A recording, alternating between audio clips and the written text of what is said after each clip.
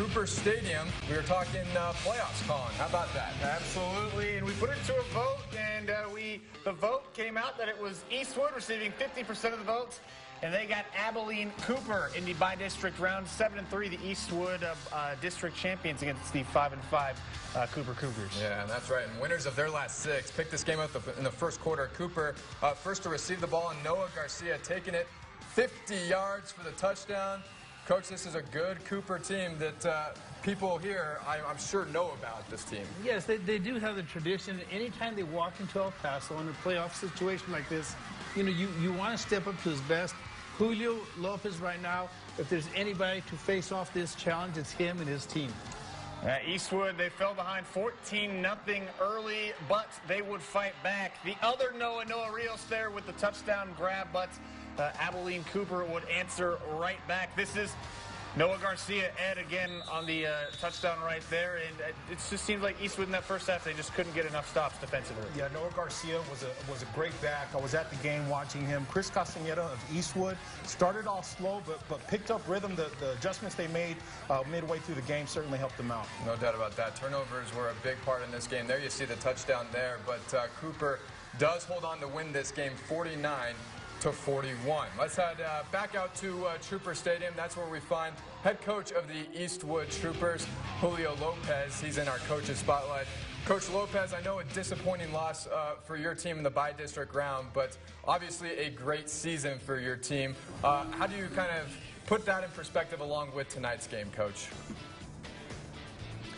Well, first off, my, my prayers and thoughts go out to the Fields family. You know, on a day where we're celebrating Texas high school football in the playoffs, it's terrible to hear that one of our one of our own, you know, passed away tragically. And so my thoughts and prayers, first of all, go out to, to their family or his family and to the, all the America's community. Um, tonight, we just made too many mistakes.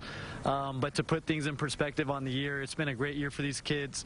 You know, my heart is broken for these seniors because they deserve to obviously we, to move on to the next round and to keep this thing going. But to bring the first district title back to Eastwood since '94, to go 5 and 0 in district, to have the year we had, um, I'm just really proud of our kids. Coach Lopez here, Colin Deaver here in studio with you. What's going to be your favorite memory when you look back at this season? Um, you know, just getting to spend that time with your kids. You know, my favorite memory, I, I, just think, you know, being able to, to bring the district title home for these kids, for them to see them persevere and overcome so much. Uh, we started one and three in a tough schedule. You know, we had Plano, Midland Lee, we had Americas as our first, you know, our three losses early. But to see the kids rebound from that, beat a good Montwood team, be able to run the, the table in district and go 5 and 0, beat Del Valle, beat Chapin, beat good teams like that um, in our new district. I'm just going to you know, miss all the memories that go along with the year and, and miss the journey that these seniors have taken with us the last four years.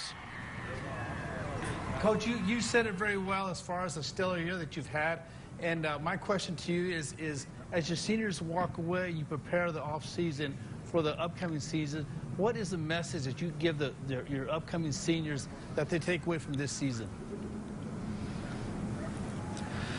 Well, for, for our kids that are still coming back, the message after the game was to continue the tradition um, that these seniors that are leaving us started. You know, these seniors accomplished a lot in their four years.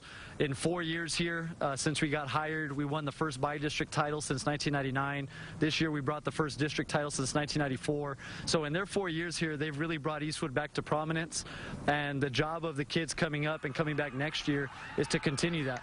You know, our goal when we got hired is to make Eastwood an elite football program again. And this was another step in, in the process. And we truly believe that you know, it's our kids coming back that are going to take us to the next level and hopefully continue what these seniors have, have started. Coach Andy Morgan back with you. Thank you for taking the time with here on uh, post game. Do appreciate the time. We know we're going to see your Troopers team uh, back and even stronger next year. Yes, sir. For having me on and and you guys do a great job, man. I know this is your, your last show, but I appreciate all the work that you guys put into this as well.